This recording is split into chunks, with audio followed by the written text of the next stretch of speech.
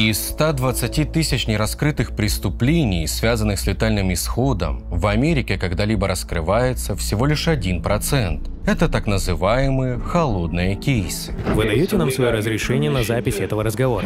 Да, вы можете продолжать записывать. Окей. Справедливости ради уточню. Многие из них тянутся уже десятилетиями лишь потому, что раньше криминалистическая экспертиза не была настолько развита. И некоторые дела не спасет уже даже прогресс, просто в силу давности произошедшего.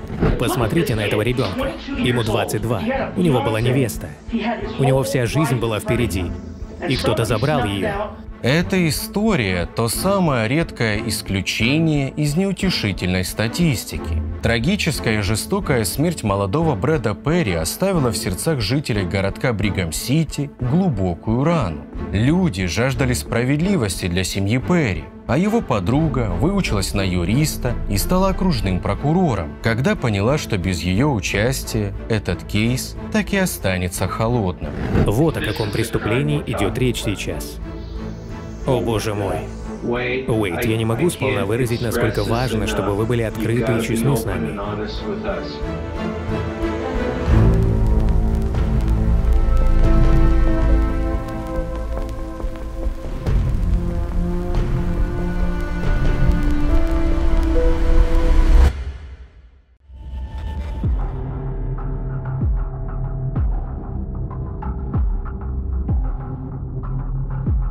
22-летний Брэд Перри работал на местной заправочной станции. Юноша нуждался в деньгах для оплаты колледжа и своей предстоящей свадьбы, а потому согласился брать не только дневные, но и ночные смены, которые ко всему еще и оплачивались лучше. Увы, его планам осуществиться не довелось. Парня нашли мертвым на рассвете в первую же ночь на рабочем месте 26 мая 1984 года. Маленькая мормонская община содрогнулась от ужаса. Молодого Перри не просто лишили жизни, это было сделано с особой жестокостью. Что же случилось? В выходные, посвященные Дню памяти, двое студентов всю ночь готовились к выпускному тесту. К рассвету они многое сделали и очень устали. Парням захотелось отложить книги, прокатиться на машине и вкусно позавтракать. Вряд ли они когда-нибудь забудут эту поездку. Около 4 часов утра друзья прибыли на местную заправочную станцию и направились к пункту самообслуживания. К их удивлению, навстречу вышел мужчина, готовый их обслужить. Более того, посетителям прямо сказали не заходить в магазин и спросили, чего они хотят. Один студент дал заправщику 5 долларов за топливо пятью купюрами по одному доллару. Другой попросил сигарет и протянул также 5 баксов, но одной бумажкой. Продавец вернулся в магазин за сигаретами и вышел, отдав пачку студенту, а с ней и сдачу. 4 доллара по одной купюре. Как будто товар стоил всего 1 доллар, что не соответствовало действительности. Обеспокоенный мальчишка почувствовал, что тут что-то не так. Потянул руку за деньгами и едва сумел сохранить самообладание заметив, что на ладони заправщика виднеется свежая, еще не высохшая кровь. Поблагодарив работника станции, юноша скользнул по нему взглядом и увидел следы крови также на пальцах второй руки и ботинках. Парни с их слов решили, что им лучше убраться оттуда как можно скорее. Они остановились у телефонной будки, чтобы сообщить об увиденном в полицию, лишь когда проехали около 8 километров дальше по дороге. Уже через 5 минут на заправочную станцию прибыли два офицера. Полицейские заметили красные пятна и капли на плитке, ведущие к подсобному помещению. Там в луже крови лежал человек со связанными проволокой руками за спиной. Он был мертв. Молодому мужчине нанесли сквозной удар отверткой длиной около 30 сантиметров верхнюю часть груди. На полу лежал большой чугунный звонок со следами крови, подобный тем, что используют в наших школах для оповещания о начале или окончании урока. Судя по всему, жертву ударили им по голове, сломав таким образом череп. Также рядом нашли большую канистру весом около 18 килограмм, Судмедэксперты заключили, что именно ею юноше буквально в конец раздробили череп. В бумажнике в заднем кармане штанов у почившего были найдены удостоверения и водительские права на имя Брэда Перри. Очень травматичный момент для сотрудников полиции. Поскольку оба офицеры лично знали жертву и всю его семью. В их сплоченном сообществе люди очень дружны и так или иначе связаны друг с другом через церковь, работу или родство. Брэда знали как хорошего, порядочного парня, который ходил в школу, работал, а вскоре собирался жениться на любимой девушке и создать с ней семью. Родственники погибшего, его мать и братья в тот момент находились в семейной поездке в Калифорнию. Брэд Перри отказался присоединиться. Он установил для себя цель и решил строго следовать своему плану, зарабатывая деньги.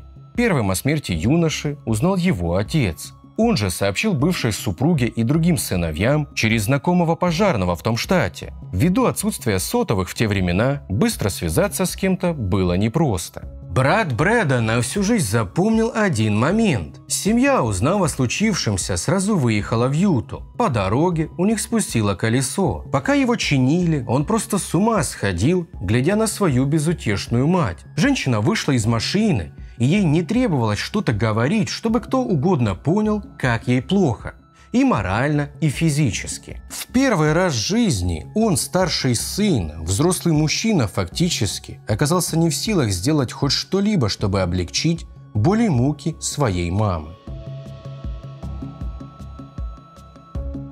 Двух студентов с заправочной станции доставили на допрос. В участке с ними работал полицейский художник-зарисовщик, который попытался нарисовать псевдозаправщика, обслужившего парней. Ребятам не понравился результат. По их общему мнению, эскиз не передавал внешность преступников в полной мере, но глаза получилось отобразить очень точно. Такие же пустые, темные, мрачно-холодные. Дальше сотрудники полиции попытались получить всю информацию о пострадавшем и его обязанностях на станции. Детективы предполагали, что весьма вероятно к этому преступлению причастен кто-то из коллег Брэда Перри. Они выяснили, что несмотря на то, что студентов обслужили без их участия, сделано это было именно в пункте самообслуживания. А бензоколонки в нем нужно перезапускать изнутри заправочной станции. Для этого, собственно, и требовался ночной работник. В наше время многие процессы полностью автоматизированы. Мы к этому привыкли. Тогда же этот функционал был придуман просто для безопасности. Сотрудник мог находиться в закрытом помещении и не выходить ночью клиентам. Но вот в чем нюанс. Наш псевдозаправщик, выходит, знал, как это сделать. Кроме того, напольный сейф обнаружили открытым. Брэд не имел к нему доступа. Открыть его мог лишь один человек на этой заправочной станции – помощник управляющего Томас Нейгер. И, что странно, в тот день он должен был прийти на работу в 6 часов утра. Но он не появился. Впервые 26 мая Нейгера заметили только спустя 4 часа после вызова полиции. Правоохранители обеспечили охрану места преступления. Сюда же приехал владелец станции. За ограничительными лентами собралось много зевак, позади них стоял тот самый помощник управляющего. Парень даже не пытался попасть за ленты или просто пройти вперед, но владелец заправки его заметил. Полицейские захотели с ним поговорить. Их удивило, что мужчина ведет себя так нервно. К тому же внешне он весьма походил на преступника, изображенного на эскизе. Детективы спросили Томаса Нейгера, почему тот не пришел на работу. Он ответил, что проспал. Якобы Брэд обещал позвонить ему и разбудить, но этого не произошло. В 80-х годах анализ отпечатков пальцев был примерно на таком же уровне прогресса, что и тестирование ДНК сегодня. Специалисты, которые работали на месте происшествия, заверили детектива в том, что если преступник оставил следы и ранее засветился в базе, они идентифицируют его без особого труда. Кроме того, они смогли обнаружить несколько волос, явно не принадлежавших жертве. Экспертиза таких образцов тогда еще широко не проводилась, но их внешний вид, цвет, плотность и структура то есть самые примитивные характеристики, могли помочь следствию. Что удивительно, после проверки сотен отпечатков пальцев, снятых на станции, среди них так и не нашли ни одного принадлежащего Томасу Нейгеру. Следователь счел это абсурдным. Парень там работал давно, они должны быть буквально повсюду. То есть, или он стер их в ночь смерти Брэда Перри, или, если к гибели коллеги мужчина все же не причастен, делал это постоянно, убирая свои следы. Но зачем? Ситуация выглядела, мягко скажем, странно, но Негера полиция задержать не могла. Все надежды возложили на процедуру опознания. Студенты ведь видели злоумышленника просто перед собой и даже говорили с ним. Что бы ни скрывал Томас Нейгер, так тщательно вытирая свои отпечатки повсюду, гибель юного Перри не его рук дело. Студенты ответили твердо и уверенно. Это не он. Сейв же парень, по его словам, просто забыл закрыть накануне. Когда семья погибшего Брэда Перри вернулась в Юту, у их дома уже вовсю толпились их близкие, друзья, соседи и журналисты. Для городка вроде Бригам-Сити такие события не просто редкость, это нонсенс. И местные репортеры вели себя подобно стервятникам, которые слетелись на едва успевшую остыть плоть. Мать, отец и братья Брэда не хотели разговаривать с представителями СМИ. Они переживали глубочайшее потрясение и пронизывающую сердце боль, задаваясь тем же вопросом, что и пресса. Кто, зачем и почему сделал такое с их мальчиком?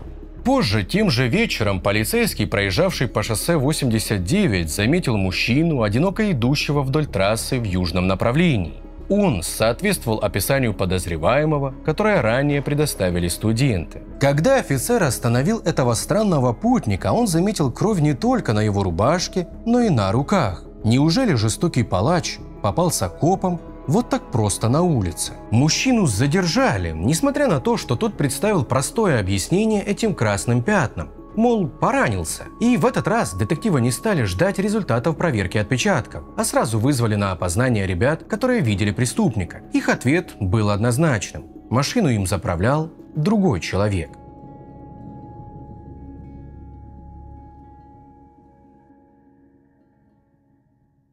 Семья Перри, похоронив Брэда, нуждалась в том, чтобы просто выбраться из этого города и информационного вакуума, в котором, казалось, не было новостей, не связанных со смертью их родного человека. Эти люди не питали никаких иллюзий, боль потери не уходила. Но здесь, в Бригам-Сити, они не могли даже дышать, настолько все происходящее давило на них. Мать и братья погибшего уехали в Монтану. Наконец, безутешные родственники смогли предаться своей печали и оплакивать их мальчика лишь в кругу семьи, без сочувствующих жителей городка и настойчивых репортеров. Но когда они вернулись, то обнаружили, что их дом подвергся вандализму и ограблению. Кто бы это ни сделал, он ворвался в жилище Перри, разгромил его, украл некоторые вещи и даже дошел до того, что испорожнился в спальне покойного Брэда.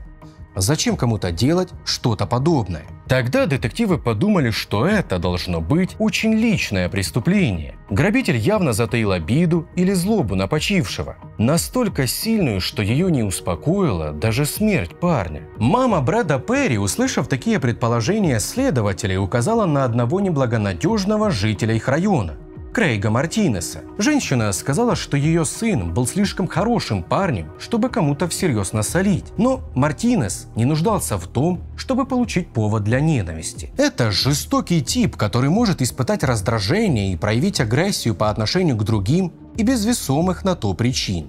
Крейг действительно не мог считаться образцовым гражданином, как ни посмотри. Большое криминальное прошлое. Много случаев агрессивного поведения, применения физической силы не к месту, воровства. Такой тип легко мог провернуть подобное. Полиция обыскивает спальню нового подозреваемого. Под его матрасом они нашли вещи, исчезнувшие из дома Перри после ограбления. Вскоре появились свидетели, которые заявили, что Крейг Мартинес пришел на вечеринку в Бригам-Сити в ночь смерти Брэда с кровью на одежде. Кроме того, выяснилось, что Крейг давно и близко дружит с Томасом Нейгером, которого ранее пришлось исключить из числа подозреваемых. В ходе нескольких допросов детективы установили, что Нейгер торговал запрещенными веществами на заправочной станции. На этом основывалась и его дружба с Мартинесом, который не то покупал у него товар, не то участвовал в распространении. Так у следствия появилась первая действительно серьезная версия.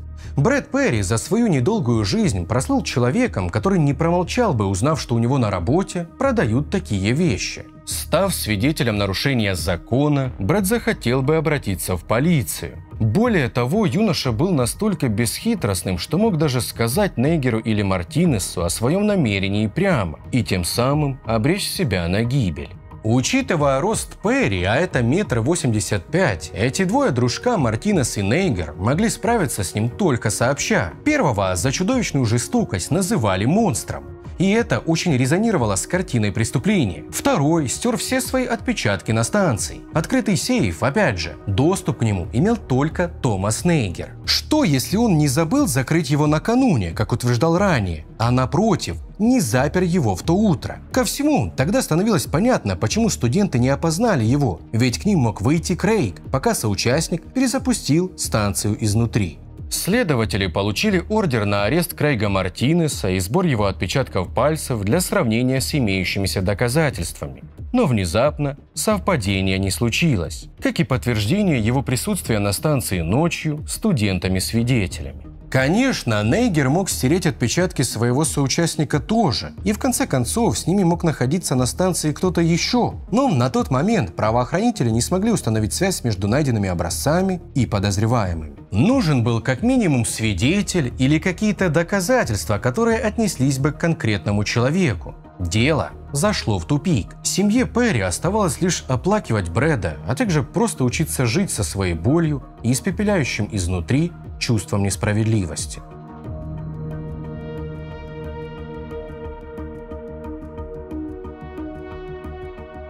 В Штатах холодные кейсы не закрываются. Сотрудники специальных отделов возвращаются к ним снова и снова, пока есть хоть какой-то шанс найти виновника. Так, в 2003 году, спустя 19 лет после смерти Брэда Перри, его дело поручили детективу Скотту Косгроу. Следователь начал изучать материалы и фотографии дела. Он просмотрел видео с места преступления, наверное, раз сто, пытаясь увидеть что-то, что его коллеги ранее, возможно, пропустили. На месте происшествия были найдены волосы, которые до сих пор хранились в лаборатории. Мужчина понял, что их никогда не анализировали, не из-за халатности, а просто ввиду отсутствия такой возможности. Тогда, почти два десятка лет назад, они могли оказаться полезными лишь для визуального сравнения и довольно примитивного анализа. Но за прошедшие годы уровень экспертизы в данном направлении возрос многократно. Косгроу решил сравнить волосы на месте происшествия с образцами главных подозреваемых – Крейга Мартинеса и Томаса Нейгера. Второго полиция перехватила по дороге на вокзал. Он рассердился и внезапно выпалил. «Зачем я вам? Вы же знаете, что Крейг Мартинес забрал жизнь Брэда Перри». Томас предоставил образец своих волос для анализа и посоветовал Косгроу получить ордер на Мартинеса и сравнить его волосы с найденными на месте происшествия. Как выяснилось, второй в тот момент уже находился в заключении по несвязанному с делом Перри обвинению. Когда детективы приехали в тюрьму и подозреваемого привели на разговор, тот лишь ухмыльнулся и сказал, «Думаю, вы не получите мои волосы». Мужчина оказался выбрит наголо и откровенно посмеялся над правоохранителями. Зачем и как так произошло, он объяснять не посчитал нужным. Медсестра, которая прибыла туда вместе со следователями, сказала, а я найду парочку. И действительно, нашла их возле соска Крейга Мартинеса. Специалисты проводят экспертизу, и это провал. Нет совпадений. Мартинес просто поглумился над полицией в тот момент, когда требовались его образцы, а он, по абсолютно случайному стечению обстоятельств, оказался выбрит. Косгроу пребывал в унынии и гневе одновременно. Ему казалось, что это финал, ведь все сошлось. Проверка материала Нейгера также показала, что волосы совершенно разные. На этом этапе в дело включилась Эми Хьюги, молодой перспективный окружной прокурор. Женщина искренне хотела сделать как можно больше для раскрытия этого кейса. Семья Перри нуждалась в справедливом завершении этой истории, хотя бы с точки зрения закона. Юная Эми, девушка, которая очень хорошо дружила с Брэдом Перри в детстве, помнила, как 19 лет назад ее отец буквально оборонял семейство Перри от репортеров, имевших наглость разбить лагерь на лужайке у их дома. За истекшие годы Хьюги закончила учебу на юридическом факультете, стала успешным юристом и баллотировалась на пост окружного прокурора, лишь потому, что ей до сих пор очень болела смерть друга. Эми на интуитивном уровне чувствовала, что этот кейс так и останется холодным, если она что-нибудь не сделает. Со Скоттом Косгроу новый прокурор разбирала материалы дела. Она спросила его, проводился ли анализ ДНК или каких-то других улик. Детектив сказал «нет». Тестирование ДНК в штате Юта даже в то время находилось на самой начальной стадии, и в лаборатории крайне редко соглашались проводить проверки, лишь по указанию ФБР или других структур, готовых оплатить эту дорогостоящую услугу. Ранее такой опции у местных детективов и вовсе не было. Эми Хьюги обратилась в комиссию округа, чтобы получить дополнительное финансирование и способствовала получению средств на проверку крови с места преступления. Изъять ДНК-профиль из волос с такой же высокой точностью пока было невозможно. Злоумышленник мог и сам легко пораниться об необработанные металлические края этих предметов или получить травму от Брэда, если у него была возможность защищаться хотя бы в начале потасовки. Тогда Косгров вспоминает про еще одну улику одну из тех купюр, которые студенту отдал псевдозаправщик и которая прямо соприкасалась с его окровавленной ладонью. Все эти годы тот злосчастный доллар хранился в государственной криминалистической лаборатории в морозильной камере. Там детективы пытались убедить, что кровь на деньгах тоже принадлежит жертве. Скотт Косгру настоял на проверке при поддержке Эми Хьюги. Прошел месяц, потом два, и тут звонок. Кровь на купюре принадлежит человеку по имени Глен Гриффин. Ранее о нем следствию ничего известно не было. Мужчина в то время находился под стражей в федеральной тюрьме в штате Калифорния и отбывал срок за управление подпольной лабораторией по производству метамфетамина. Косгроу и Хьюги выясняют, где находится мать мужчины и направляются в первую очередь к ней. Женщина привыкла к визитам полицейских и встретила их спокойно. Сначала ее сын просто шалил, потом воровал деньги из кассы в магазине, причинял вред животным. Дальше пошли разбой, нападения, производство и сбыт запрещенных веществ. Косгру попросил показать ему фотографию Глена примерно 20-летней давности. Он увидел точное совпадение с эскизом, который до сих пор хранился в материалах дела Перри. Мать Гриффина также спросили, с кем он общался и дружил в те времена. Ведь Брэд был высоким и крепким парнем, с которым нелегко справиться в одиночку. Женщина ответила, что без сомнений следствию стоит пообщаться с Уэйдом Моэном. Они вместе занимались преступной деятельностью. Глен слыл лидером в их тандеме а Уэйд – трусливым парнем, который, тем не менее, во всем подчинялся приятелю. Детектив выяснил, что Уэйд Моэн переехал в Спокан, штат Вашингтон, еще после смерти Перри и не возвращался в Бригам-Сити никогда. Полиция Спокана, в свою очередь, сообщила, что Уэйд в тот момент числился свидетелем в другом расследовании. Коллеги пошли навстречу Косгру и вызвали Моэна якобы на допрос по другому делу.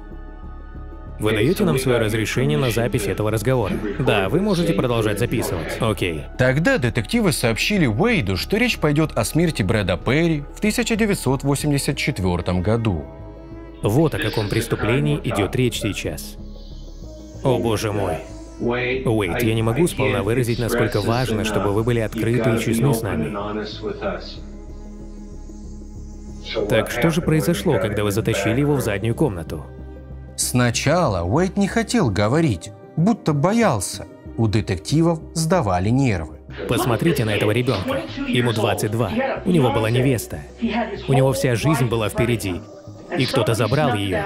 Но потом Косгроу сказал, Уэйт, Глена выпускают из федеральной тюрьмы. Моэн просто побелел от этой новости. Он явно не хотел, чтобы приятель вышел на свободу. Сейчас я начинаю думать о той ночи, точнее про то раннее утро. Вы знаете, я вспомнил. Я помню это. Друзья были на станции в ту ночь.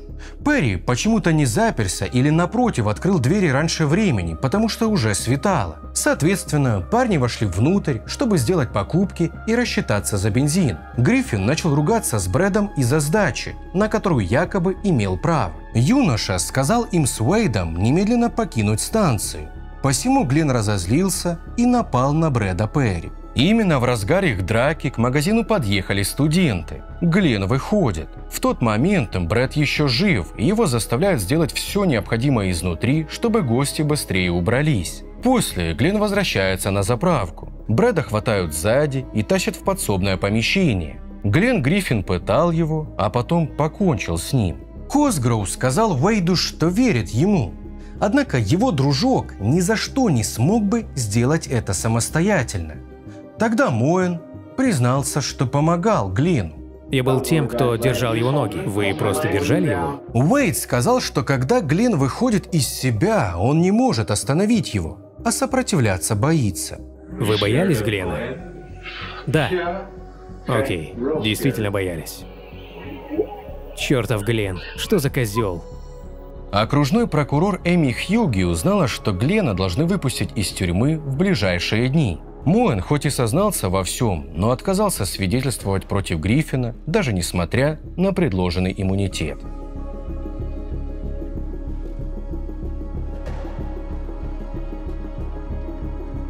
Косгроу немедленно отправился в Вашингтон, чтобы взять интервью у главного подозреваемого.